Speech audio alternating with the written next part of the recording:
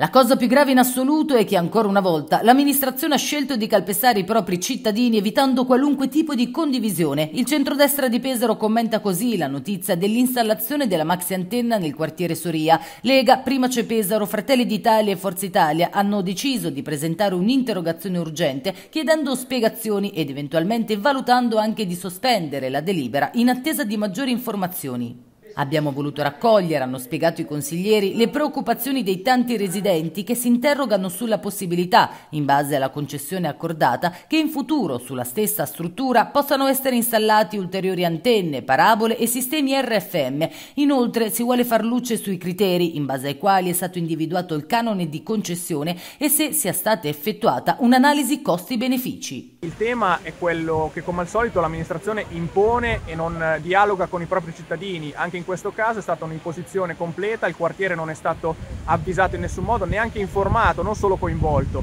E a questo punto l'interrogazione ha il valore di far sapere alle persone eh, quali scelte ha preso l'amministrazione, come mai proprio in quella zona e soprattutto quali sono state le azioni che l'amministrazione ha eventualmente messo in atto per eh, cambiare zona. Quella è una zona particolarmente spiacevole per installare eh, un'antenna eh, quali sono le iniziative che ha portato avanti l'amministrazione e quali sono anche eh, gli studi che sono stati eventualmente messi in atto per tutto quello che è il tema della salute eh, e della sicurezza e dei cambiamenti che porterà a quest'opera.